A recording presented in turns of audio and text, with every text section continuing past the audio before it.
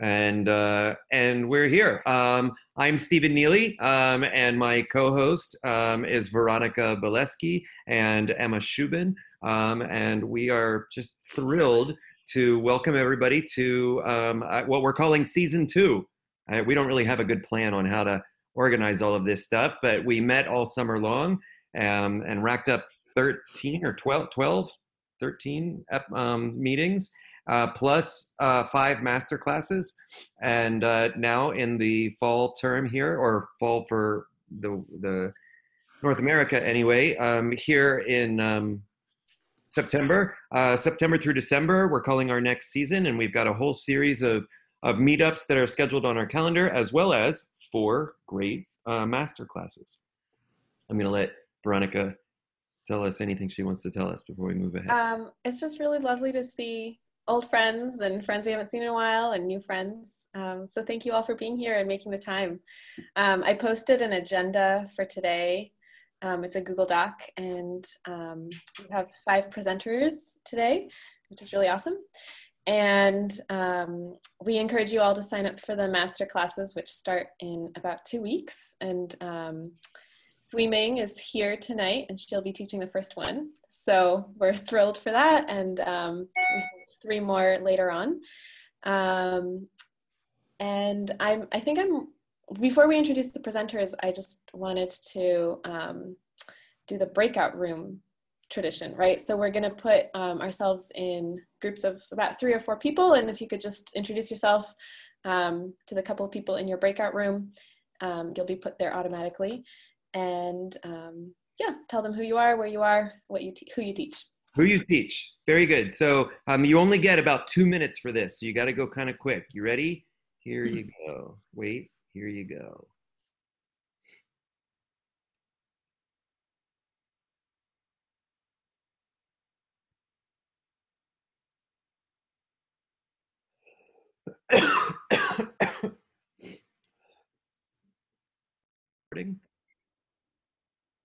hopefully you had a, uh, an, an, a just enough time to say hi to somebody and wish you had more time. That's the plan. That's the Eurythmics teacher hook. That's what we do.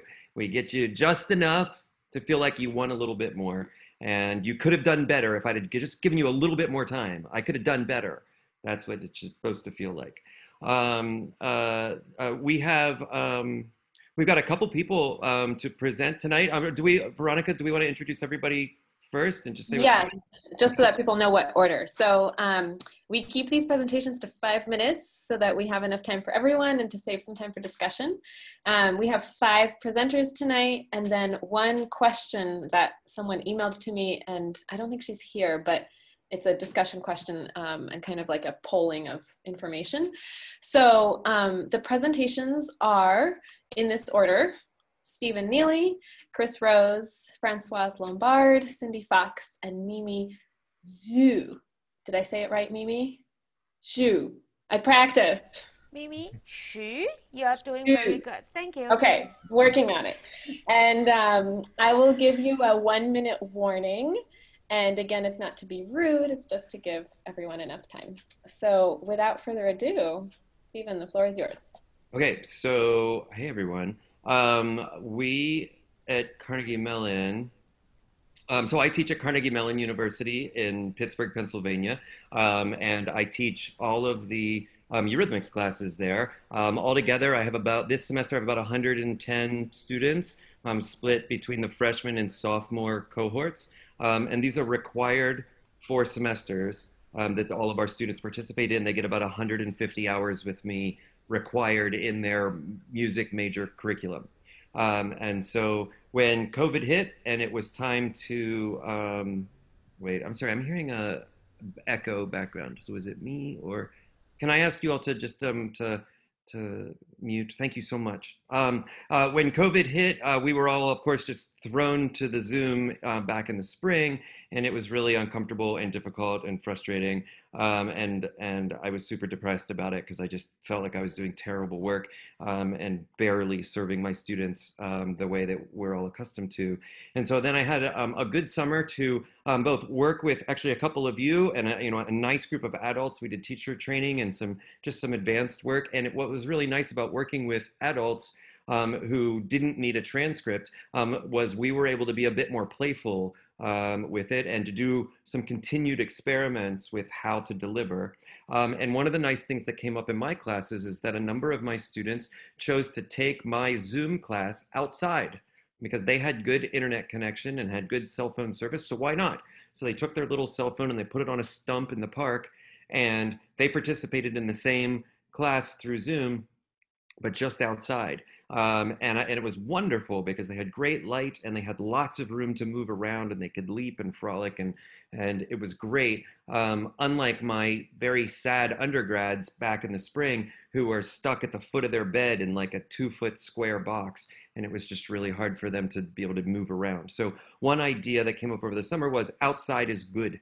Um, one of the problems that maybe you all have thought about before, as I had for many years, was that outside sounds nice, but the hardest thing I've always thought about outside was the acoustics, and that there never seems to be a way to get good acoustics outside unless you want to go to the rock concert version of amplification, which to me feels very anti Eurythmics. Um, my normal Eurythmic studio has a nine foot Steinway Concert Grand in a room just big enough for like a class of 20 movers. And so it's intimate and I can play pianissimo and my students can feel it. They can they can feel the literal vibrations of the piano. And so outside we've just never been able to pull that off. Um, but because I had extra need to solve the problems of my life, um, I dedicated a lot more effort to trying to figure it out. Um, there's a thing called, um, so I did some investigating and had been snooping around all summer. There's something in New York City called um, Improv Everywhere, which maybe you're familiar with this group. Um, and they are sort of the, the kings of the instant flash mob. They're able to somehow corral sometimes 500 or more people all at once and make them look like they're doing something with no rehearsal and they're they're just like amazing at it. And one of their projects is called the MP3 experiment, um, where they have everybody download a uh, a playlist and an app, and then they announce to their mailing list, show up at this hillside in Central Park at the assigned time. And everybody shows up, they download the app, they download the playlist, and when they push play on the app, the app syncs everybody's playlist to play at the exact same time. So everybody on the hillside is listening through headphones to the exact same music at the exact same time. And there's a narrator who then tells them what to do. And then hilarity ensues as they do silly things that the narrator makes them do. And so there's a way for a shared experience to feel personal outside. And so I thought about that a lot. And then there's this other thing that you've maybe heard of called silent disco, where you can pay a cover charge. Okay, one minute. Is that what you said? That's ridiculous. You pay a cover charge and you go to a club and they give you a set of headphones and a power pack and you can hear the music that everyone else is playing so uh, the only thing left to solve was um, what is the technology that lets me do it live instead of pre-recorded. Um, and FM radio was the thing we came up with. So what we've done is set up a mini FM radio station on my college campus on one of the beautiful lawns. Um, and my students show up with headphones. We gave them all FM receivers. And I have a digital piano, which is not as good as my Steinway, but it's working. And I have a microphone, um, and I have a computer that can also play audio. And anything I play, say, um, pops up in their headphones, but nobody on the outside of us can hear it. So it's really funny, like silent disco, that no one else can hear unless you're in the club to have the headphones. And I'm going to steal an extra minute because I helped organize this thing. Um, so here are a couple quick pictures. So this is my. Can you see? This is my studio. Yep. This is my new. This is my new studio. Oh come on! It's not going to let me page through. Darn it! All right. Uh, darn it. I really thought I had that working. Um, how about this? Can you see? You can't see that, can you? No, we just see the cut. Resume, share. How about? No, no. Darn it. Okay, hold on. We're gonna try again. Here. Do you have the video that you sent me of like the people moving silently? Yeah, I'm gonna totally show that. I'm gonna show that. I swear I'm gonna show that. And I'm gonna do it really fast. The um Nope, nope, nope. Uh and this is when with my own students I say, old man with technology. That's what we say. Okay. So here very quickly are some pictures. So this is me and my whiteboard. Oh, really? It's okay. There. I assume you can see these things. Um, there's the Zoom screen because I not only have students on the field, I have students in Zoom who are looking at the field and they're participating at home. That's my classroom. And so far in Pittsburgh, I swear to you, every day that we've met this semester, the weather has looked exactly like this. You'd think I lived in Australia. Okay, then, okay, and then I got, I'll show you a little video. These are not like amazing because they're real. So let's get to share screen. So here's one. So they can hear the music that I'm playing. Sing the 416ths.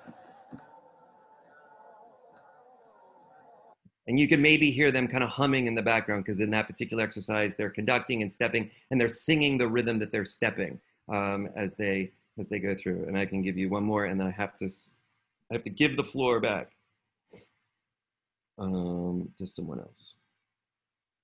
Share the screen, quick time. Here's another one, 17 seconds of something. Surround the note with increases rates.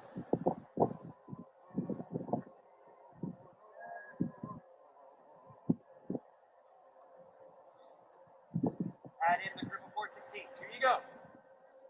And so that's more than enough just to give you an idea of kind of some of what we're playing around with. I'm sorry I took extra time. That was very, good. very rude of me. Um, good. Thank you, Stephen. go team. Nice. Um, Chris. Hey everyone, uh, it's already cold here. Uh, it was 30 degrees when I woke up this morning, so I can't teach outside. But I am teaching in person at Bennington College in southern Vermont. I teach uh, liberal arts undergrads. Uh, they are allergic to the word correct. They hate correctness, so I'm from the conservatory world. But uh, today I'm going to do a little thing with figure and ground. Uh, so here's a little ground for you, and you can find a way to move this uh, in your screen. You don't have to see me if you want to go back to gallery view.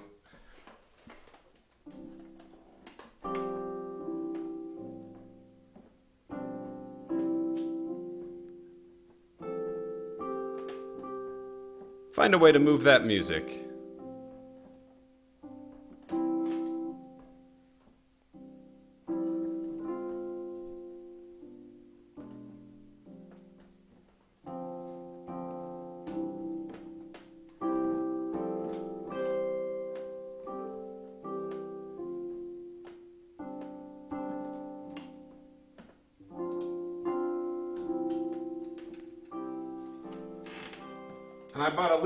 So I could create the ground.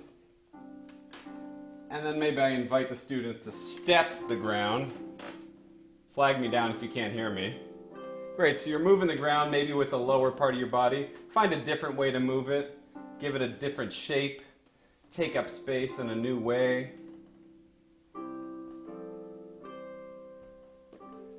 Great, and then with the other part of your body, I'll play a little melody on the trumpet here, and you'll find a way to echo that just with your movement.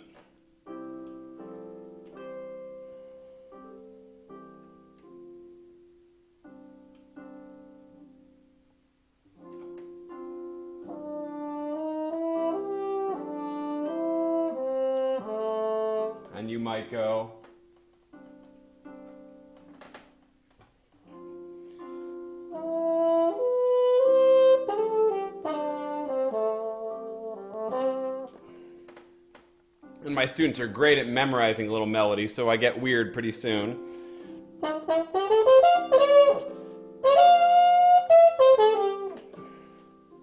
And they don't sing. They, I can't get them to make sound, so they just move it, and I, we get weirder.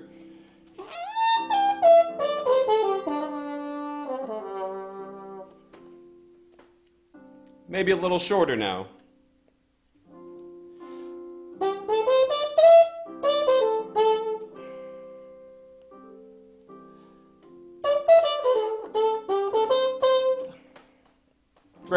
Get tired of that loop, and so maybe I do something different.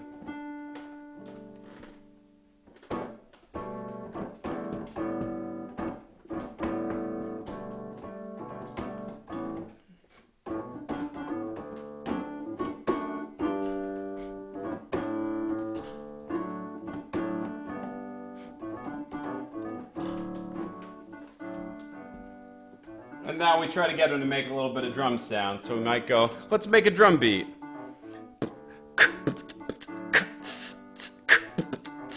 You try.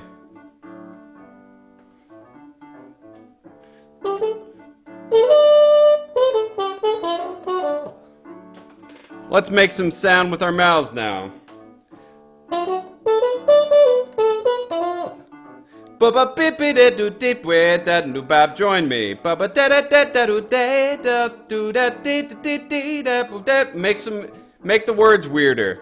Sklada babado baba goes up do that bogadam bled bedo babs gredo bab babe bed web bado baba web do that babe just to yourself now silently.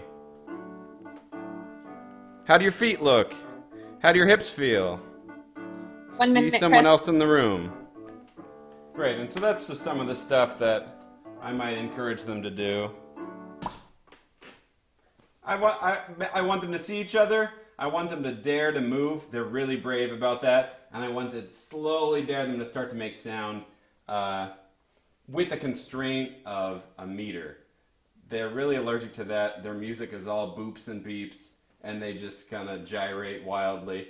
Awesome. Great foundation. How do I get them to interact with meter and conducting so that we can then move on to things like uh, in a Brahms symphony, if the tension torques because of some rubato, that means nothing to them until I first get them to respect the tyranny of meter. Okay, end of thesis. Thanks. Thanks for moving. Cool. Thank you so much, Chris. All right. Next is Francoise.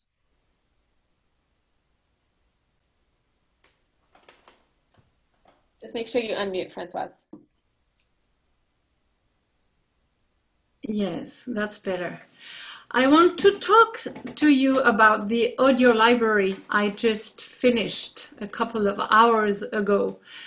Um, I did an audio library with improvisations, improvisations that I played on the piano on uh, different elements of the music. I have been recording uh, exercises for the pulsation, phrasing, uh, meter, rhythms. I even played some dances and uh, some counterpoint exercises and so on. And uh, the reason why I did that is because I'm teaching uh, not only a professional uh, but also amateur, non-professional people, music teachers and they love to do Dalcroze, but they say they cannot use anything in their classrooms just because they are not used to improvise. And some of them asked me if they could record my own my own improvisations during the lesson, and I said no, this is not going to sound well, and it's a little bit too too risky also. But I decided to do that uh, at home because I have the chance to have a recording studio. And uh, so I did it. But I'm perfectly aware that I'm breaking the rules, that we know as Dalcrozians that we should always be spontaneous and follow the students or create the whole lesson with our um, spontaneous improvisation and um, and I still believe that it's very important. But I thought that it would be good to give access to as many people as possible to a kind of a music education uh, integrating some movement.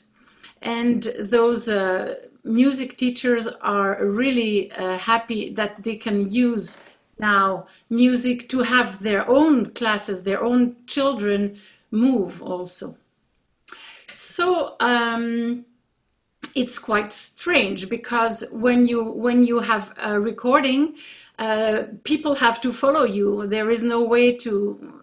But I I did on purpose. I did lots of those tracks with very simple things, uh, just measures of four beats or measures of three or five to give to give space and freedom to the students and to give also a lot of uh, responsibility to the teacher because the teacher has to listen to each track very carefully and to find also his or her own ideas about what they can do. But in order to help uh, the teachers knowing what they can do with all those tracks, I asked Lisa Parker, who is here, and also Chengfeng Lin, my colleague of Toronto, and also Mary Bryce. And the, the three of them were wonderful. They helped me listening to, well, they listened to the music and they helped me find the right way to explain and to the good ideas that we could suggest. But the teachers will have also a lot of freedom also to either take what we say or create their own their own ideas and their own uh, lessons with all of that. This material is also aimed at professional Dalcroze students uh, for the improvisations. And I think it can be, it might be a way for them to improve their improvisations just by listening. Not that they have to copy what I did, but to give them some ideas about how you can how you can improvise for such or such subject you know? So this is it. And one more minute. Oh i added some improv exercises also at the end of the the the pedagogical guide. So you have the music you have a pedagogical guide with all the explanations and you have also there improv exercises that you can do on your own.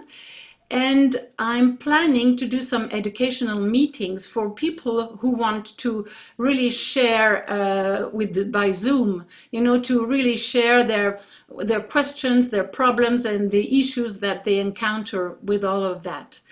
So this is going to be on a website that maybe I could give you. I don't know. I could I give you the of name? Course. Yes, we can. On the chat, I will do that after. So yeah. that's it.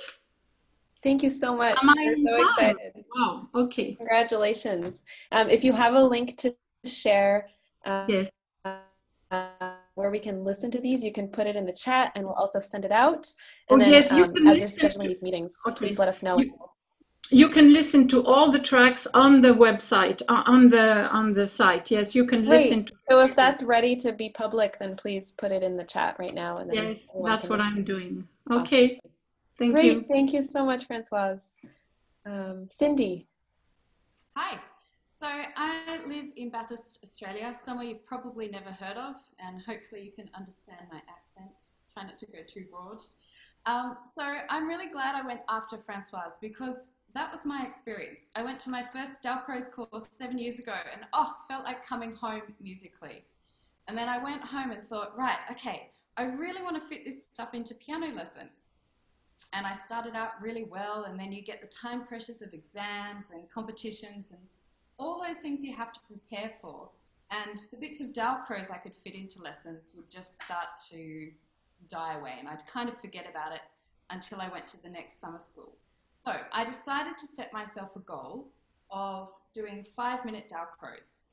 So every lesson we would do five minutes worth of Dalcroze um, with the aim of having um, a particular exercise that unfolded over a term.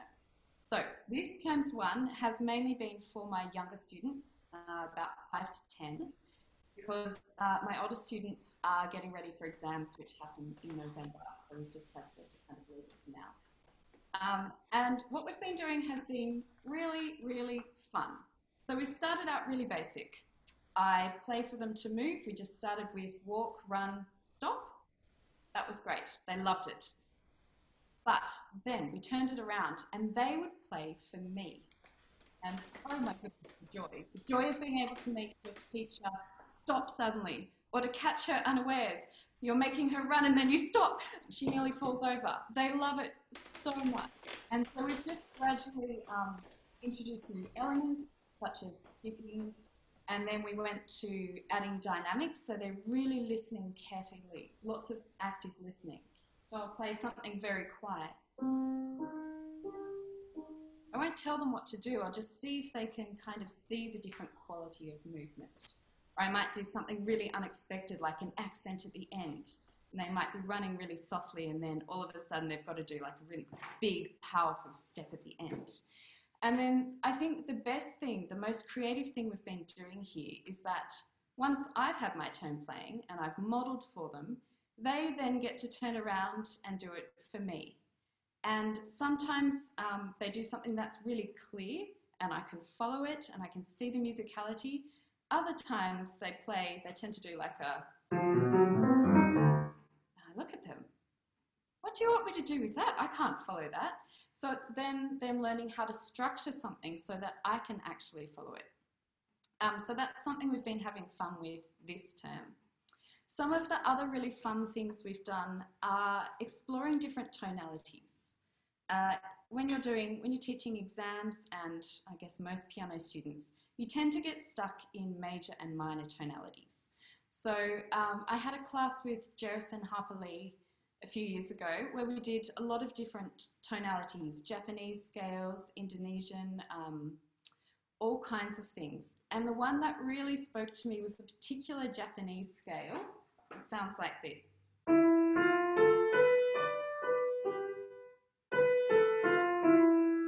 If I can play it. And it just really spoke to me. It's such an evocative scale.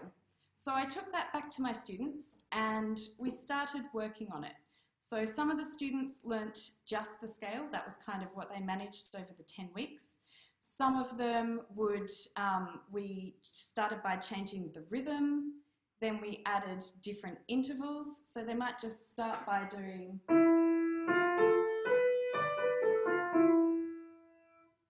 Pretty exciting already. Then they might miss a few notes.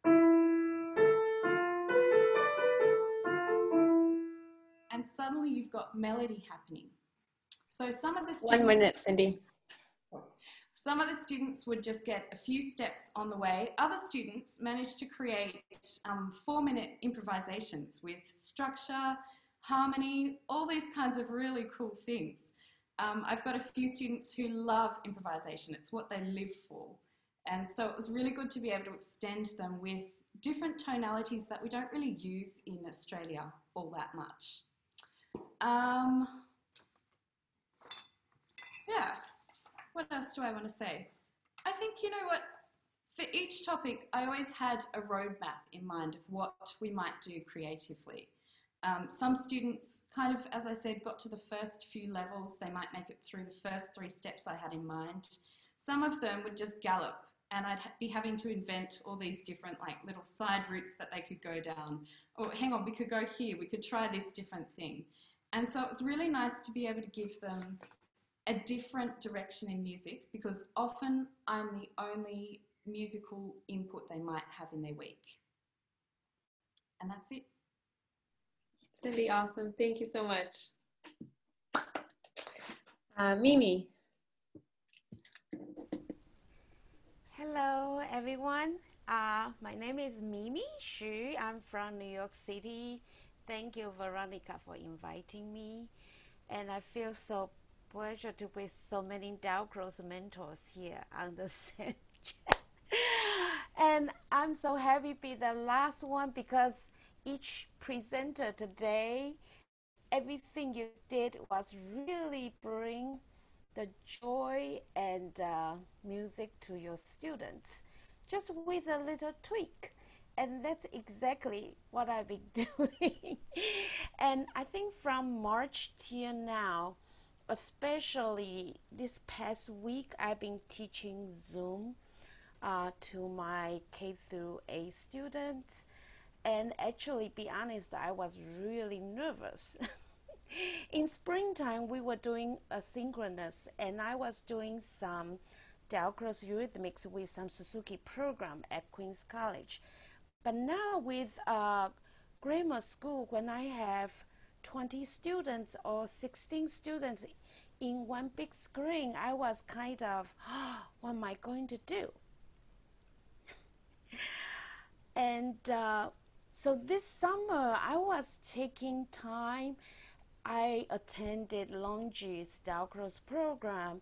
I attended uh, Neus Fernandez, the Pagimba program from Barcelona, and I taught with Jeremy, the DSRDA's academy, and uh, I realized everything we want to share with our students in all levels and all ages. And no matter we are seeing them in person or through Zoom,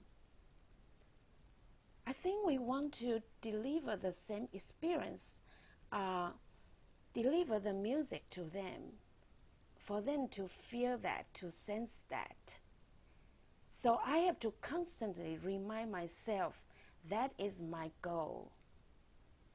No matter how techy we are, I think I'm traveling through the space in the New York City apartment.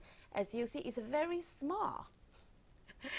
so I enjoy doing stretching and get myself ready and turn down my motor so I can travel through and guide my students.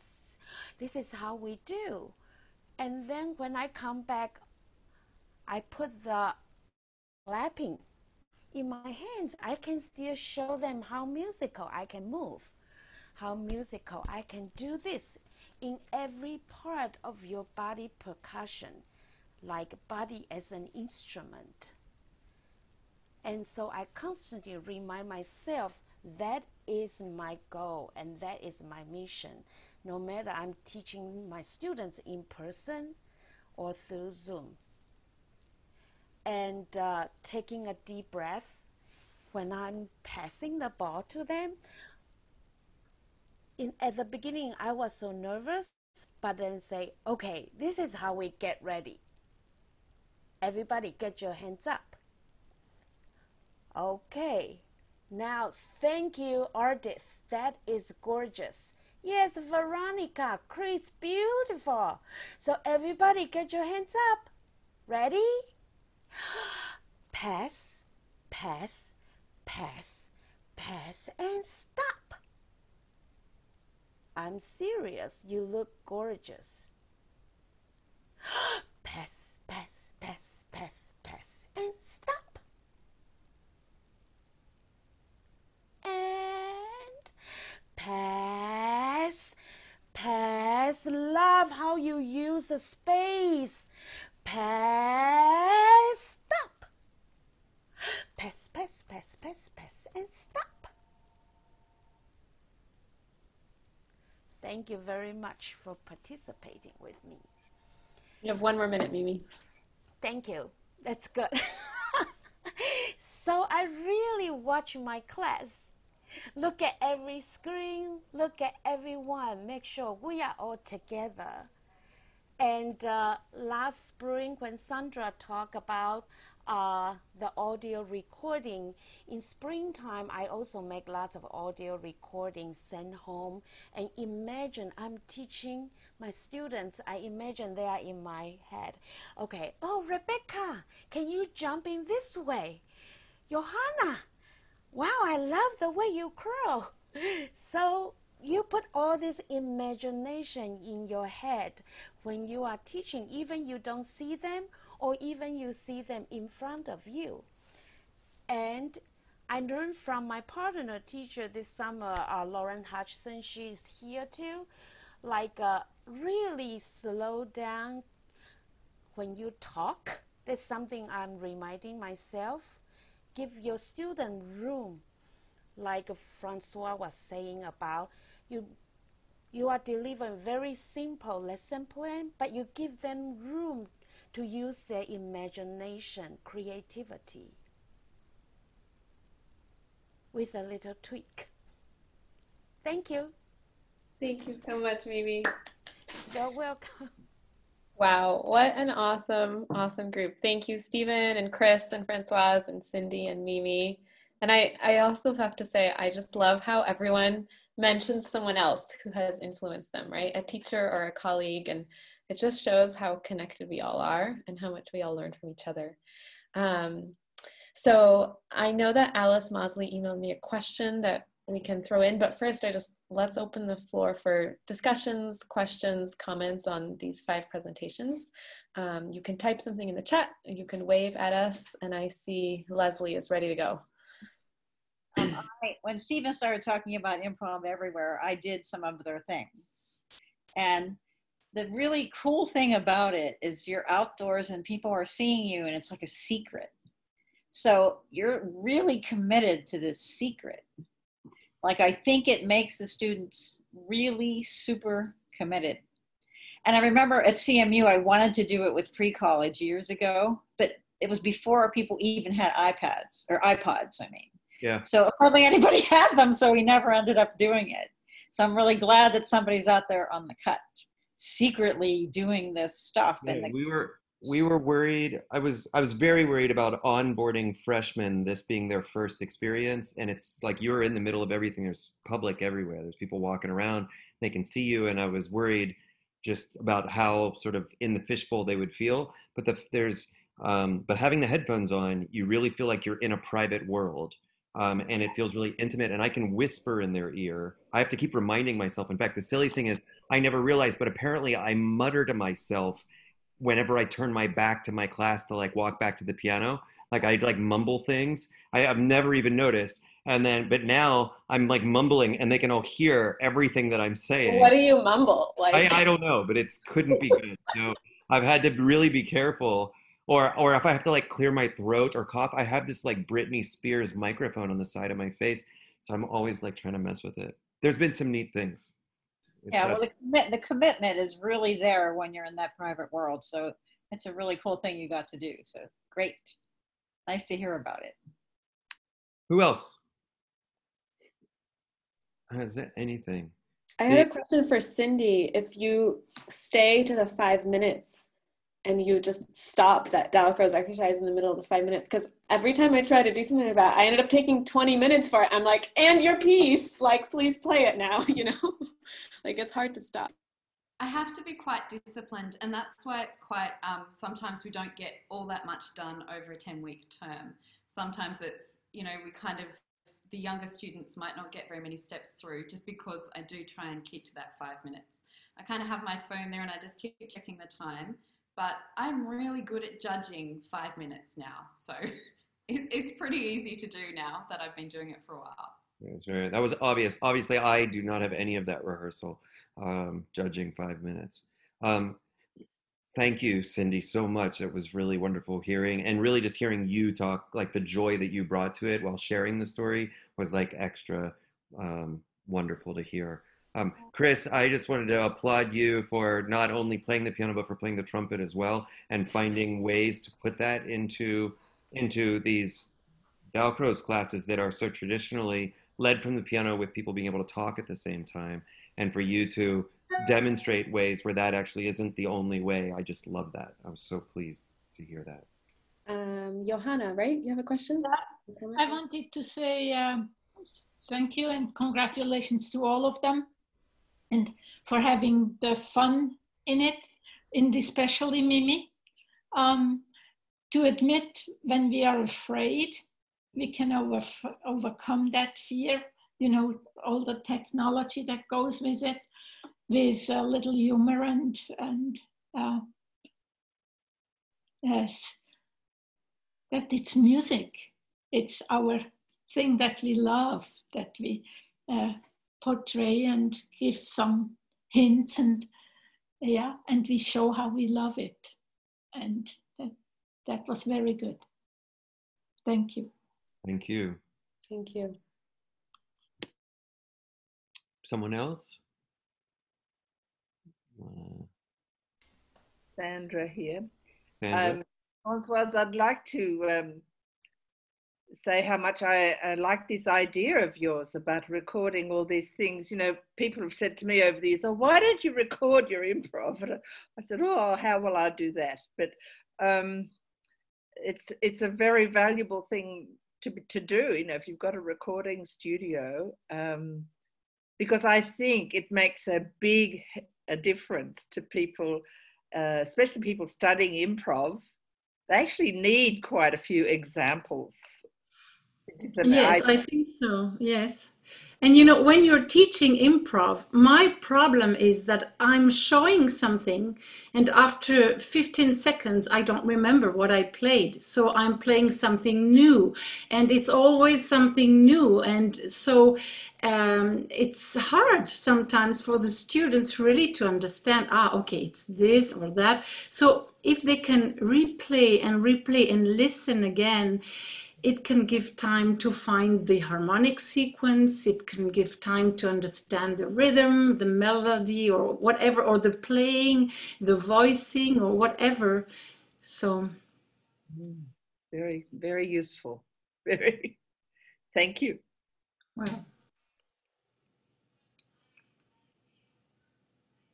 Chris i saw you had a hand up.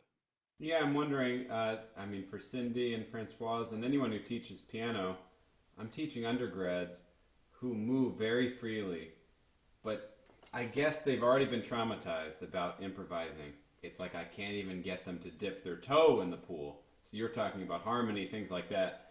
I just really just want them to use their voice and just make sounds. What am I missing? Why are they so scared and why am I confused by that? Do you mean improvise through singing or playing or both?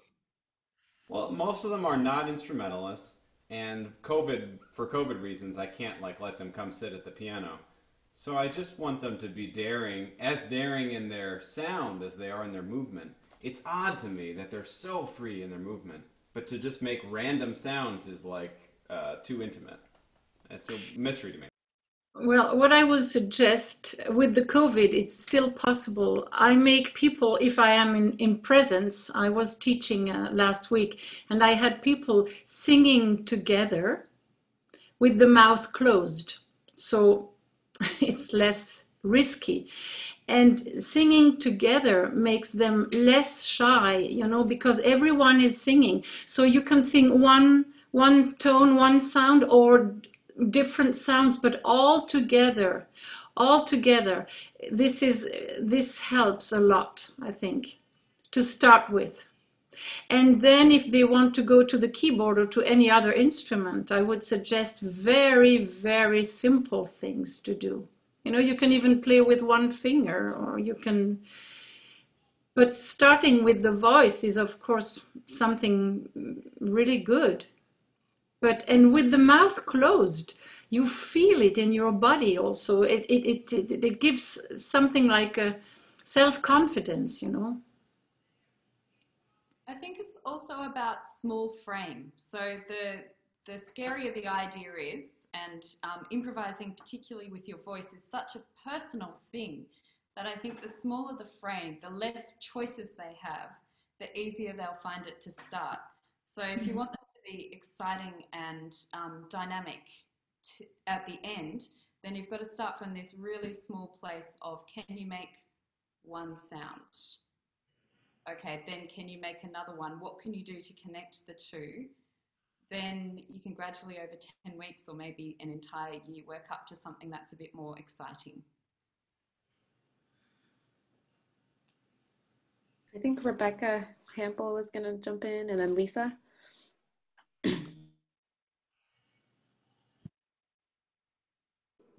There you go. Hi, Chris. Uh, I was just typing. I wonder if you uh, have ever tried having them tell a story without using words but using sounds. So, sort of removing them from tonality, removing them from whatever you're playing, and have them start to play with their voice or accompany each other when they're moving or accompany themselves. So, if someone does a gesture, we're used to being able to play that gesture on a piano, but if we play that gesture with our mouths, so if I go like this, and then you have everybody say, What would you do with that? Whoop! And they start to play with it, but it, it's getting their attention on something else rather than the pressure of, Oh, I have to make a sound. Does that make any sense? Yeah, I think I'm struggling making the leap from those theater type games, and Lisa and the Chad mentioned something similar. Uh, they're fine with that, I think, because they're taking theater classes as part of the liberal arts education. There's something about once the music starts up, they've all had a frightening piano lesson at the age of 10 or something that they're just like, ooh, music. And so I'm not sure where that disconnect is, but I'm going to do more of the theater games and see if I can slowly merge it with meter. Um, another idea for you, Chris. I remember years ago in Quebec, we had an improv. Uh, people had been moving a lot. You said they like to move. We had um, speaking in a, a, a, foreign language, you know, nonsense syllables, but sitting on the floor back to back. So they could hear each other, they couldn't see each other. And so they had to make sounds uh, with expression to communicate with this person who was leaning on their back. And it, it was amazing what they did. So it just loosened them up a bit and ha- they really had fun doing it. So it just gave the idea of the inflection of their voice, you know, actually communicates meaning. It could be they were frightened or they were angry or they were so happy about something, but it was all done with nonsense syllables. So I guess it's maybe a drama game, but for personal expression, it really did loosen them up. So good luck. Um, I saw Lisa was trying to get a word in too. So oh, it's kind of the same type of thing. I come from a theater background, and so um, there is a disconnect between the movement and then the voice is very personal and it's very you're you're listening to it. And people judge themselves very quickly when they're listening to it. So the more things that you can do to get them out of listening to themselves and often that's having a like a, a conversation with like what sandra was saying back to back or even if it's if you've got some kind of a you've got a jazz kind of one of the things like you were doing underneath it that's a loop that keeps going and just see what kind of conversation they can um, have when they're yeah not using any words but using gibberish and trying to get something trying to get a point across. I don't know. Very good. Very nice. We have um we still got about nine minutes so we have some time for Uh, you know another question or three and it could be about any of the things we've already said or maybe well, i want to give the floor for alice's question that she emailed to me ahead of time. And alice would you mind just asking it so we hear it in your words and what you're looking for? Make sure you unmute yourself. Still can't hear you alice. Is that better? Yes. Okay sorry about that. Just jump in on what you were just talking about. It reminds me the kind of theater gibberish conversation, but making yourselves understood reminds me of something I heard Bob Abramson had done. I, I didn't actually have, have him teach me that in the class, but using solfege to say things like do re mi, you know, how are you? Faso. And, and it was quite funny using all of the solfege syllables, not to sing them, but just to make up a conversation. And I think it's a little bit like that. It, perhaps it gives people a, a hat to uh, or a hook to hang their hat on uh, using some kind of uh, easy nonsense syllables like that. Um, as for my question, it was really, I, I'm supposed to teach four and five year olds, and I've recently broken my ankle. So I'm not going to be able to leap around like you like to do with four to five year olds. Um, and I was wondering if uh, part of the time I can use, I think, to go to YouTube but I was wondering if there are any Dalcroze YouTube videos for children of that age that might be uh, self-contained because very often it just shows you the end result of some perfectly performing children, but not the stumbles of how the teacher got, you know, actually opened up the process. And I was wondering if there was that, like even a five five minute blurb on YouTube, if anyone has that uh, uh, could could uh, su suggest anything like that. And this is the kind of thing that this group can do better than a Google search. So yeah, go human Google search. so thank you for uh, for asking. So Alice, this is Mimi. I think Aaron Butler from New York City, he put up a few Dalcroze lessons on YouTube with himself teaching and his daughter is participating in the video. Oh, nice! And how do you say his? How do you spell his name? Aaron, did you uh, say? Aaron Butler. I can type it in the chat for you. Okay, wonderful. Thank you. Okay. Thank you. And Lisa, oh, Lisa already did it. Thank you, Lisa. oh, let me get to it. Thank you. Aaron Butler. Okay, gotcha.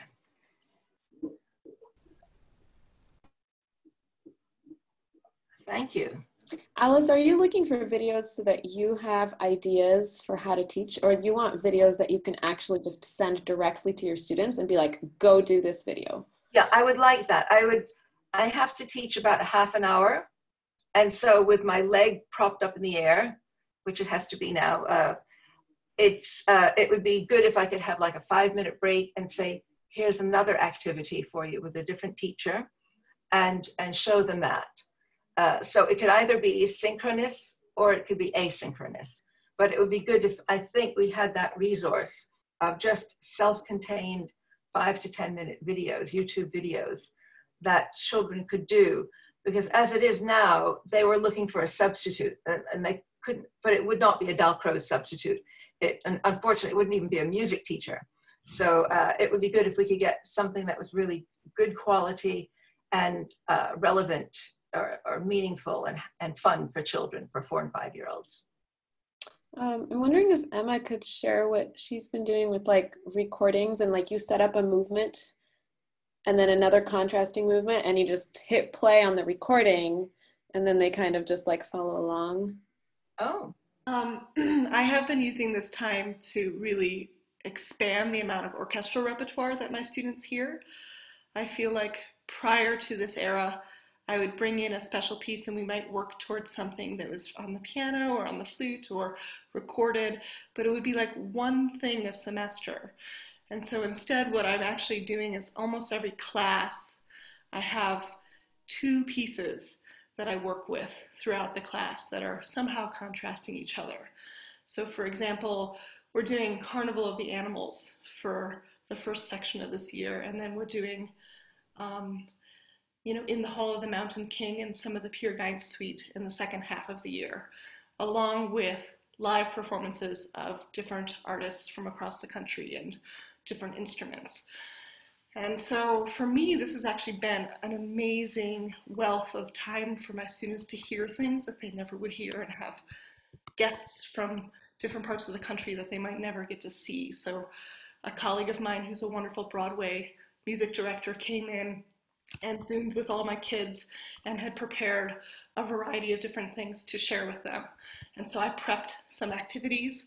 He knew what pieces we were going to do, and he was the performer, and they were the movers, for example, and they got to see something live.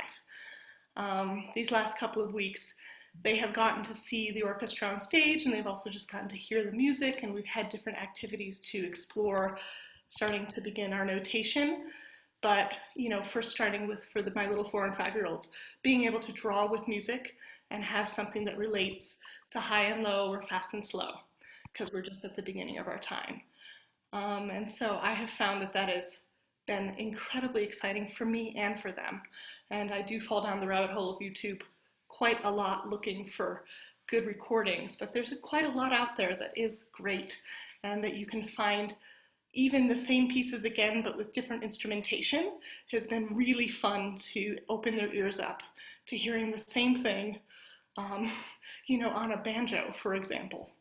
I have a father in my curriculum who is a really, or uh, the father of one of my students who's a world-class banjo artist from Canada. And so he's recorded some of the pieces that I'm using. And so I, I stumbled on it by accident, but it was a delightful moment in our classes. So I just, I have really enjoyed getting to play a different role to introduce my students to different things that I would not have even considered prior to this to this time. Very good. Boy, what a nice night. I'm so pleased to have everybody together and to see everyone. Um, we're pretty much, uh, we're just about at the end of our allotted time. Um, before we wrap up tonight, um, I wanted to um, uh, encourage everyone to get um, to, if you haven't, um, go visit our website at virtualdalcroze.org. Um, we've updated it some uh, in August, actually a fair bit. Um, there's now um, uh, a, a, good uh, dynamic calendar that posts all of the future dates for the rest of um, this calendar year. So if you, um, we're doing about two meetups a month and one masterclass every month. Um, and we would love to see everybody at everything. We'd really like to push you and all of your colleagues and, and friends to sign up for masterclasses. Um, again, our, our first one of the second season is with Sui Ming, who's, who's here with us tonight.